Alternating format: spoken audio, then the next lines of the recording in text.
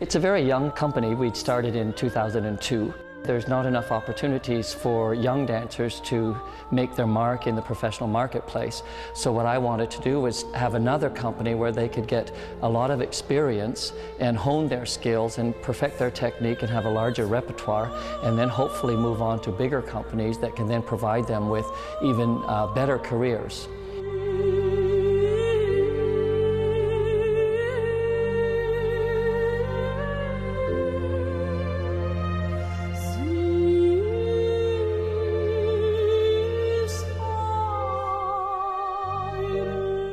I've been dancing since I was three years old, and professionally, this is my second year with Ballet Kelowna.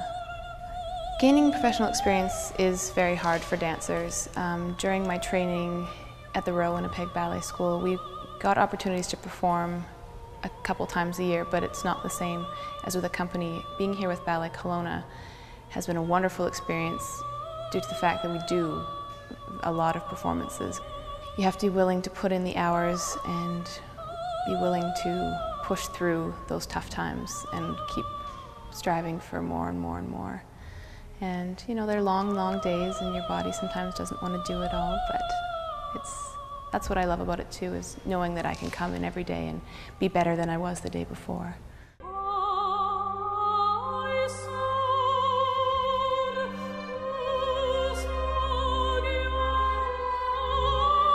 I Remember You is our first commission to a BC choreographer. I believe that uh, today's choreographers need opportunities to work with the young dancers, to speak with their own choreographic language.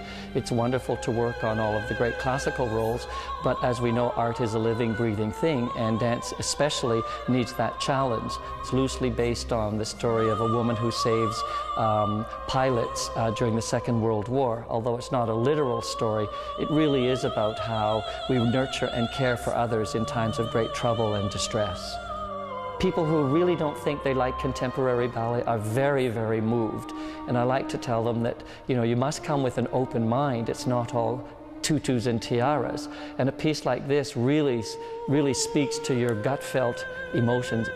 The support of people like the Vancouver Foundation who really believe in the creative process is really vital in allowing us to give these choreographers and dancers the opportunity to work and develop and to create wonderful pieces for audiences. Although we put a lot of money and talent into training artists, we should be putting enough money in opportunities to provide them with the opportunity to perform, especially in performing arts.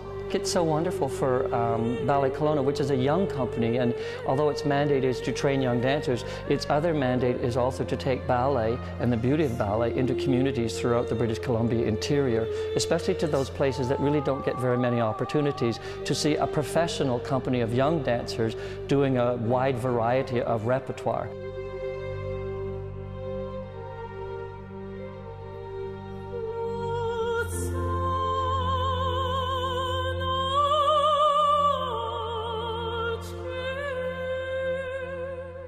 I'm really happy here with Ballet Kelowna. It's been, David, working with David has been wonderful and he really pushes you for more and more and more and I know that I can continue to grow here.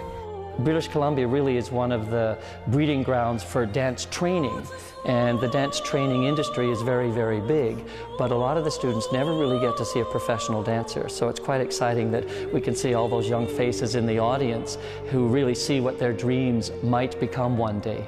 Being on stage is the most wonderful feeling in the world, knowing that there's something out there that you just grow that much more and you can let yourself go and just give your whole self to the audience.